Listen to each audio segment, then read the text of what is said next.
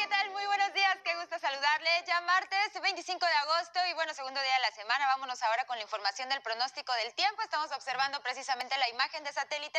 Les platico que de acuerdo al Servicio Meteorológico Nacional, en este día una zona de baja presión con alta probabilidad de desarrollo ciclónico en costas de Guerrero y Oaxaca estarán ocasionando lluvias intensas a puntuales a torrenciales en Guerrero, Oaxaca, Puebla y Veracruz, además de rachas fuertes de viento y oleaje elevado en las costas de Jalisco, Colima, Michoacán, Guerrero y Oaxaca. Las lluvias ya mencionadas pueden ocasionar deslaves, desbordamiento de ríos y también inundaciones. Por otro lado, un canal de baja presión se mantendrá sobre el noroeste, occidente y el centro del país, en interacción con inestabilidad de niveles altos de la atmósfera y provocarán tormentas puntuales e intensas sobre Nayarit, Jalisco, Colima y Michoacán, así como lluvias fuertes a puntuales a muy fuertes con descargas eléctricas, rachas de viento y posibles granizadas en zonas del noroeste, norte, occidente y centro de la República Mexicana, incluido el Valle de México. Y un segundo canal de baja presión sobre el litoral del Golfo de México originará lluvias muy fuertes a puntuales a intensas con actividad eléctrica y rachas de viento al paso de las tormentas en Chiapas, Tabasco, Campeche, Yucatán y Quintana Roo.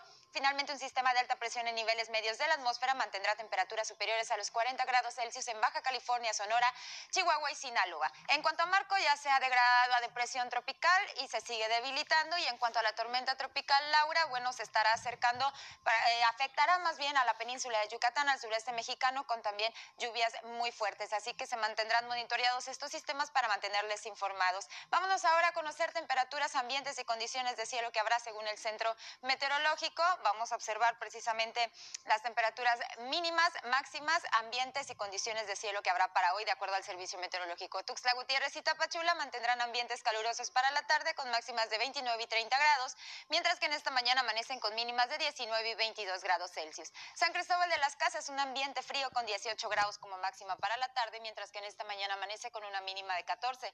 En Comitán prevalecerán los ambientes templados para la tarde, 23 grados será la máxima, y en esta mañana amanecen con una mínima de 15. Condiciones de cielo para Tuxtla Gutiérrez, despejado a medio nublado, mientras que San Cristóbal de las Casas, Tapachula y Comitán tendrán cielos eh, con algunas precipitaciones el resto de este día de manera aislada, según el Centro Meteorológico, así es que tomen sus precauciones y sigan las indicaciones de protección civil para evitar accidentes. Continuamos ahora con las regiones de Mérida, donde continuarán ambientes muy calurosos, 33 grados será la máxima para Mérida, mientras que amanece con una mínima de 24 grados.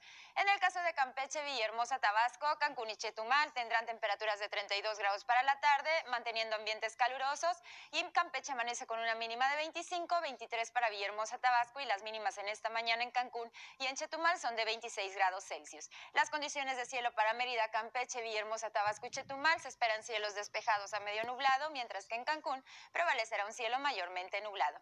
Así es que bueno, ya lo saben, están informados acerca del pronóstico del tiempo. Tome sus precauciones, pero siga pasando una excelente mañana de martes. Oigan, y uff, qué calor. Les recomiendo algo delicioso con sabor.